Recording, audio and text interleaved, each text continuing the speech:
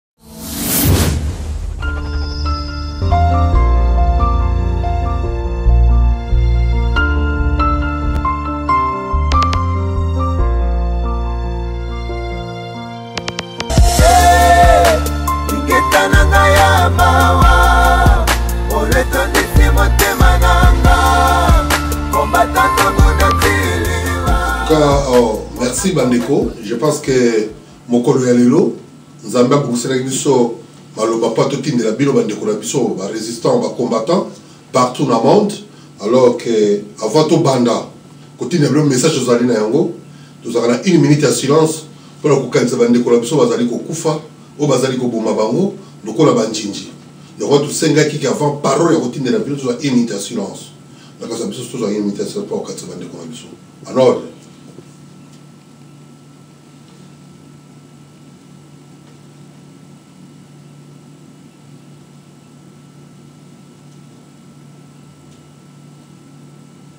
merci en tout cas bandeko ezali ya bino oyo boyebi général ngando le crocodile tozala bandeko oyo surtout ya rck wana basecrétaire général ya rck ya monde je pense que baza na parole message ya kotindela bino mwa mikolo eleki ebele topemaki moke mpo tozali kotala mokili ndenge ezali kokende eloko tozali kosenga na bino bacombattant bokitisa maboko te parce que bitumba tozali kobunda nde tobandaki yango ezali nzambe atelemisa biso ezali mvuluzi kimbangu atelemisa biso ezali mama kipavite atelemisa biso epuis bakoko na biso papa lofile bakoko na biso batelemisa biso tobundela mboka ndenge toteya tobundela mboka tozonga nsima te bafrere na ngai bandeko na ngai barésistant bacombattant nakei nano mbangu na ndako na ngai oyo babengaka rck rck ezali le meilleur cadeau de kimbangu eloko wana to nkombo wana to likanisi wana ebotama parce que ke nzambe moto apeki biso respiration wana tala eloko oyo nkombo ya rck na repete koloba le meilleur cadeau de kimbangu oyo ebimi na kati ya diaspora mpe mokili mpe eyambi yango bacombattant oyo bazali na kati ya rck bacoordinateur bazali partout na monde tokoseke mpa na bino bokitisa maboko te moto ya kosaka na molimo na bino te parce que lelo ekomi koluka moye kokase rck bacampagne ezali mpo na rck yango naza kosenga na bino bacombattant barésistant surtout oyo bazali na kati ya rck rck ezali ndako na yo yo mona yo moto oboma ndako na yo kona kolala wapi ndeti biso bagénéral ngando le crocodile tobatelaka toujours ndako na biso parce toza bisika mosusu tokokende te toza toujours na kati ya ndako na biso yango tokosenga bino bacombattant barésistance surtout ya rck partout na monde tosimbana soki oyoki problème moko ezali mpo na yo coordinateur songolo pakala songolo pakala benga oyo oh, général ngando alobaki boye oyo oh, colonel général alobaki boye oyo oh, colonel leblanc alobaki boye benga faut tuna parce que yango moto esimbaka résistance ntango yo ofandi na kati ya rck likambo ya lokuta bakoseli yo yo ndimi kaka ovandi na yo kaka ozali koboma rck rck na repete koloba c'est le meilleur cadeau de kimbangu okoki koboma rck te rck eyaki mpo na biso nyonso tu eyaki mpo na kolibere peuple congolais eyaki te mpo na koboma peuple congolais naza kobetela maboko na bakombata ya rck surtout oyo basimbi rck yango naza koyebisa bino bafrere na ngai bandeko na ngai parce que nungunungu ekoti na kati ya rck campagne ya makasi ekoti na kati ya rck donc bango balobi il faut baboma rck rck ekoki kokufa te osino ta bino bozali osino ta bapapa ya rck bazali rck ekoki kokufa te moto na moto azali na parti na ye to azali na groupe na ye oyo ye abatelaka moto avant apesa yo respect to avant atosa yo nde na repete il faut amona esika yo outaki amona ndako na yo esika yo vandaka yo obuki ndako no na marteau okimi mbango na ndako ya moninga moshekami bamashaka bongo te na kati ya rck rck mabe na biso malamu na biso tofandaka esika moko totretaka yango esika moko lelo obimi na rcc okoti awa oke pa songo lopakala olongwe pa songo lopakala na rcc okei awa songi songi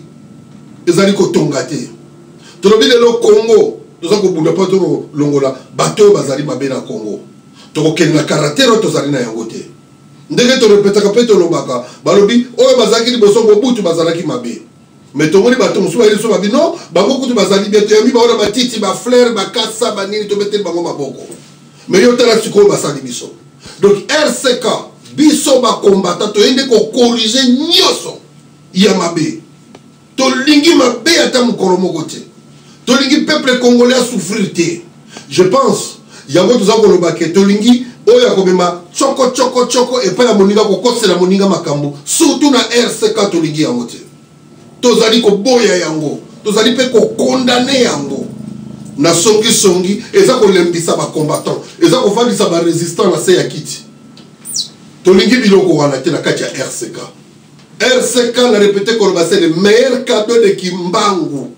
elingi te babozoba to basongisongi bakokosela bato makambo to koluka likambo ya mabe kosala non toboyi yango alors je pense que ngai nazala maloba mwa mingi te ya kopesa bino tozali na secrétaire général ya rck na monde je pense que aza na maloba kopesa bino epuis bandeko mosusu mpe bakokomplete alors je pense que natiki maloba epai ya secrétaire général ya rck monde ye akopesa bino makambo tozali nango mpo na peuple congolais surtout mpe mpo na ndako na ye rck ingeta toujours ingeta ingeta bandeko bonsoir lelo tokutani awa ezali na esengo na mawa. Tozali awa na kati ya, ya ndako ya RCK. Ndenge boyokaki General Ngando alobaki, ngai secretaire na bino ya RCK Monde Laurent Mbango, boyeba ke RCK ezali kado oyo Kimbangu atikelaki biso. Me na kado wana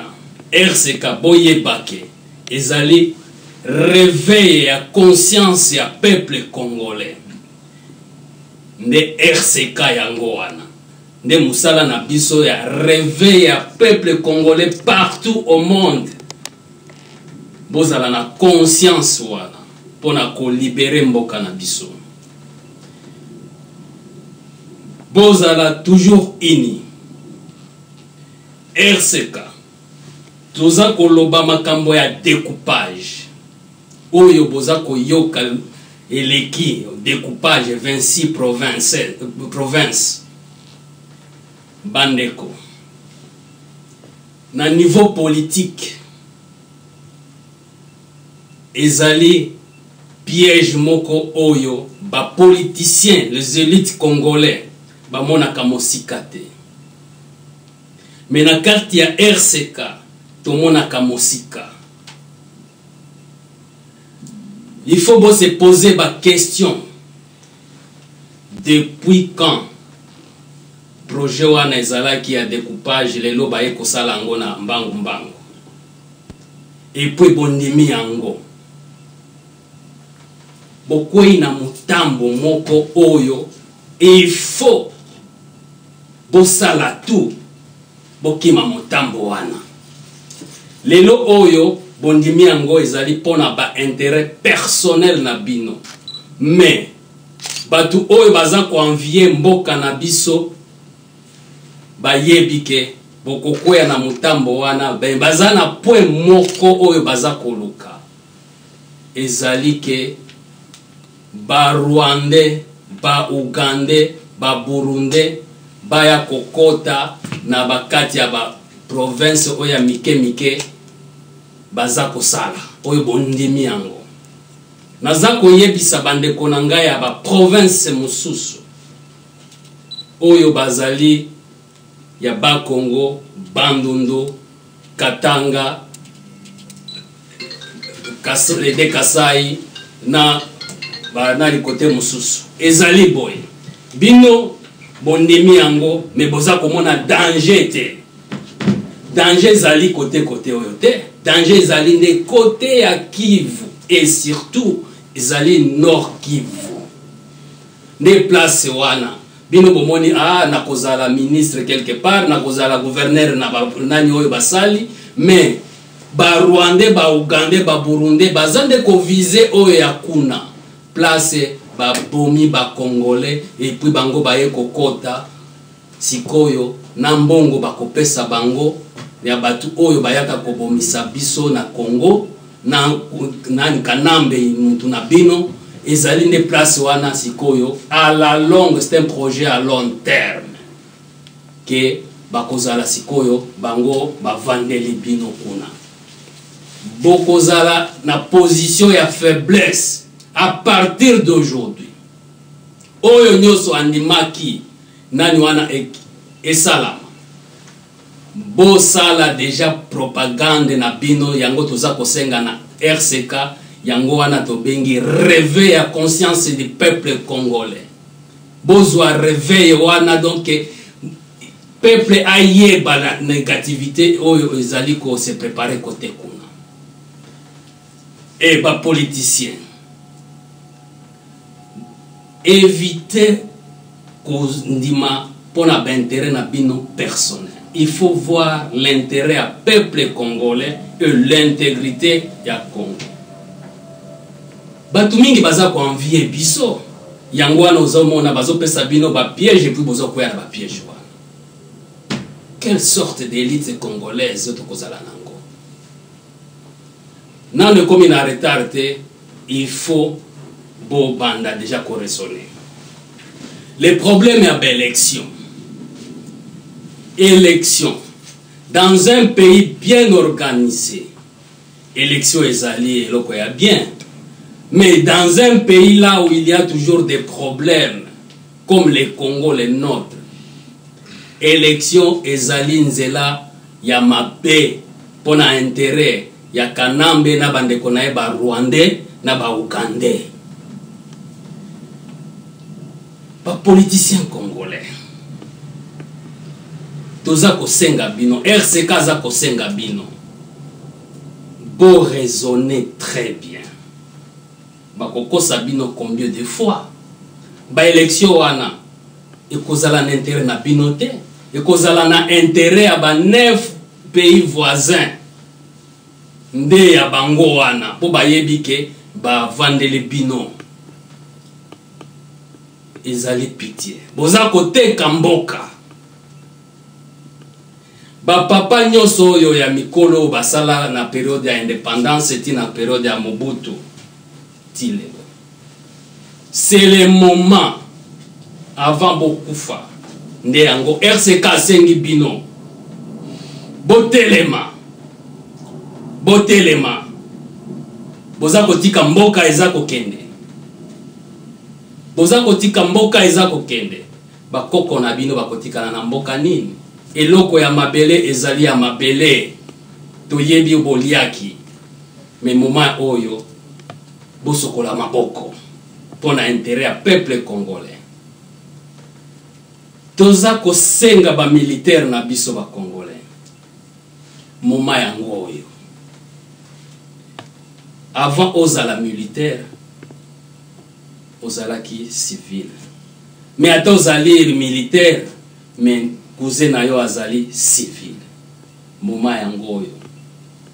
bozala sima ya peuple congolais toza kosenga bino na problème ya élection recensement eza te mwana oyo na 2005 2006 élection azalaki na ba 10 ans ou bien 11 ans lelo oyo basali ere akomi na, na, na 2011 nano akokisi temps ya konani te me lelo oyo combien bato ebele oyo bazalaki na baage wana bakomi na age ya kovote estce basali recensement mpo na bango mpo bavote Botala piège bino ba politiciens oyo boza kondima ba élection place bakokangela bino yango wana. RCK asengi lisusu réveil ya conscience ya peuple congolais. Nde moma yango oyo. Tokokanga ba nani ba parole te mpo makambo eleki mingi na Congo. Bosoto eleki mingi. Ba politiciens congolais. vous êtes infiltré na kati ya groupe na bino nde moma yango oyo bolongola ba, eh, ba ki, bosala kiyungulu napesi bandeko nyonso ya congo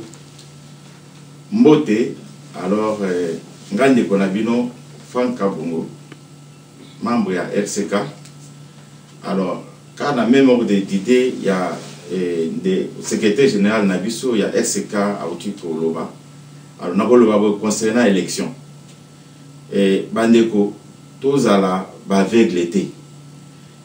sincèrement na baélection oyo eleka ya 2006 nauti koleka ya 2011 tozwa mpe mayele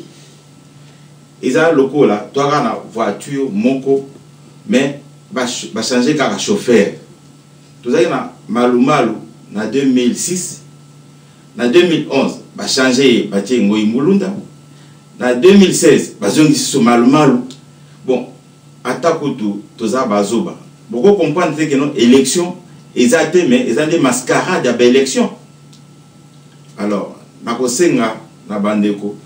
mpo to se ressaisir bapoliticien na biso bozala mpe na sens ya honneur mpo na oyo ezoleka ekomi na soni e, tozoyeba te soki boza na conscience ou bien boza na conscience te yango wana message na biso eza mpona koreveille peuple tout congolais epai oyo ozali eloko babenge élection ezali mascarade jamais bokosala election na mutu oyo ayibaki biso na 2006 ayibi na 2011 kaka ye wana lisusu mutu oyo akopublie ba resultat kaka bato na ye alors soki bozosatana na election ya ndenge nini alors mpo na nga nakosenga na bino totelema toza na temps ya distraction ya baélection te alors tokosala élection na temps oyo tokozala libéré po liberation jusque là eza nanu te jusque là bandeko ebele ya bapoliticien baza na besoin ya intérêt personnel or ke na ntango biso toza toza na besoin ya intérêt général mpo na kolibere congo alors tokozala baaveugle te alors yango wana nakosenga bandeko tu totelema alors élection eza distraction mpo na biso pour le moment Bon, en tout cas, bandeko na biso, ba peuple congolais, na ba combattants, ba résistants nyoso monde, en tout cas, mingi akoloba eza te. Eza kaka napesi bino bambote. Na ko répéter kaka déjà mon général alobi, colonel Géry alobi awa donc et tozala kaka na éveil, éveil patriotique. Donc tozwa déjà ba mayele. So lingi tokende kaka na ba élection na moto wana ekosimba te. Tala kaka ba jeux oyo moto wana asalaka. po liboso aboyaka dialogue sikoyo ekomi azolinga dialogue dialogue yango bakodialoge makambo nini moto ayibi eloko na yo okonoloba ndenge noyaka toyokana ezalaka te biso bacongolais toza na fromage na maboko fromage na maboko toza nango yango omoni bato nyonso bazolinga bazwa fromage wana mais soki totiki fromage wana ekei eza mawa trop donc tozala mpena na eveil eveil patriotique et puis peuple congolais makambo ya baélection wana bondima yango te oyo nyonso akoyela bino élection eza bamascarade mpo tozwa mayele de so tozwi mayele te eza mpasi mpo mboka na biso bazwa koanvie yango tro bayebi biloko eza kuna bayebi donc eh, yango tozoloba kaka fo boyokani na ata na opposition wana nayebi ka opposition wana eza deja na bainfiltre ebele na moi bozosolola na butu bazokende na bango baplan nyonso bino bosolola bazokende kopesa mais bino moko boyeba eza lokola fufu so botya yango na kiyungulu fufu ya bien kitaka eh? bangenza wana yango etikalaka donc bangenza wana ntango yango fo koyungula yango kobwaka donc eh, mingi ya koloba eza te oyo tozalaki na yango topesela bino en tout cas vraiment toza na bino de cœur na oyo nyonso ezoleka na congo surtout na kive bandeko na biso bazokufa ezosala mpasi mikolo nyonso oka lelo babomi lelo babomi en plus oyo bauti kokundula na maluku soki 400 combien bozolobela yango te bovandi na bino botie kaka mwa moto moke botiki ok fallait bo continuer boyeba susa ya bato wana bawuti wa babomini bango ndenge nini me bino bazodisire bino bayolela bino makambo ya miziki bayolela bino makambo soki banani o kingandi kingandi soki bachef ya parti moko bawuti soki bawuti soki bawuti poto baye kuna ah, ekomi ka distraction na tele wana nyonso wana bakosala bino bamascarade fo bolandela makambo wana boyeba bato wana bakufili ndenge nini bakenda bakunda bango na situation wana ndenge nini tomonaka na mboka nyonso ata moto azangi famille bakunda ye quand même avec honore honere batia ata kesi moko ya mabaya bafabrike bake kokunda ye babwaki mabele mo bakonobwaka bino soki kansa combien lokola basardine ata kutu bambisi yango bathomson babwakaka yango ndenge wana te donc eh, mingi akoloba eza te deja baninga mosusu mpe baza na parole akopesa apase parole na baninga mosusu baloba oyo baza na ingeta ingeta ingeta we euh, mpo na kosukisa nalingi naloba boye oyo ezali maloba ya commandant joli chef état major ya rck bon. tolobi boye général ngando secrétaire général laura bango touti koloba makambo ya baélection makambo etali barésistant combattant J'insiste pour dire que la politique oyo ezoleka na Congo ezali politique te. Tant que pays ezali sous occupation, il n'y a aucune politique qui peut se faire. Ya mibale, soki biso tozali ba combattant, tozali ba combattant resistant mpo na bino ba peuple. Mais bino bato biso toza kobundela, boza komona yango te, boza koyeba yango te. Sikoyo boza kotya biso wapi? ainsi nalingi naloba boye na mikolo eza koya rck tozali kosala betude toyeba sikoyo nini tokotraite na bino bapeuple bino population parce que biso nous nous sacrifions mpo na bino bapeuple mais bino bapeuple yango biso toza kose sacrifie mpo na bino boza ko agir te na epai na biso awa tosali oyo tokoki kosala ma epai na bino kuna bozosala bino bokoki kosala te sikoyo tokosuka wapi tokosuka boni nasuki wana mpo na lelo nakanisi liloba mosusu ekoya nsima ingeta ingeta ingeta je pense que nde boyoki commandant jolie azali commandant ya rck monde monde donc ozoyoka ke message euti kopesa bino kaka ndenge ndeko euti koyebisa bino biso bacongolais biso barésistant bacombattant tozobosana ke tozali na fromage na maboko tala nde toza kosala badanse partout partout je pense que commandage euti koloba mpe lisusu politiki nini emarchaka na mboka na biso ya marke oyo eza komarche wana alobi mpe lisusu abeti susu sete peuple toza kobundela nde bino peuple congolais peuple ozolakisa biso nini mais olakisaki biso 3 jours tomoni mais bapoliticien bakosa bino te tozali na besoin ya soulèvement populaire yango nde eleki bombe na tomiki oyo tokoki koganye congo mpe en plus nakoyebisa bino bacongolais barésistant partout na monde tokima tribalisme tokima tribalisme makasi parce que oyo eza koleka oyo eleki oyo mpe eza koleka tribalisme evandi ezali très très très très dangereux mpo na koboma résistance mpe mpo na koboma mpe peuple congolais kitoko tokosenga mpa bacombattant barésistant surtout na kati ya diaspora bikefo bikefo tolingi koyoka te ke ah, baluba bakangami na koi moko boye tolingi koyoka te bato ya bandundu bokangami na koi moko boye tolingi koyoka te bamongo non please please ezali lokumu na baoyo tozali kobunda na bango balobi tala poison tokotiseli bango mm. poison mpe evandi ekomi kosala parce que bato bazali komona okoyoka bato bakendaki songolo bakombo kaka kudu kudu kudu no way no way please tobandaki resistance na tribalisme te a partir ya tribalisme tobomi resistance tokobunda na bango boye ti na suka ti na suka so tokozala 50 ans tokozala tokozala 50 ans meme na bakoko eloba ta mbuta kingo ebende tobamba tobunda bango ata na banjeta ta kobeta na motu boye tokotika te bandeko na nga barésistant bacombattant omoni bafrère na bino ya rck monde awa na kati ya grande bretagne bavandaki mpo na kopesa bino message message bozwi je pense okolanda mosusu message mosusu ya makasi ezali oyo bazobenga yango dernier coup de sifflet bokoyoka yango nasengi na bino ingeta ingeta ingeta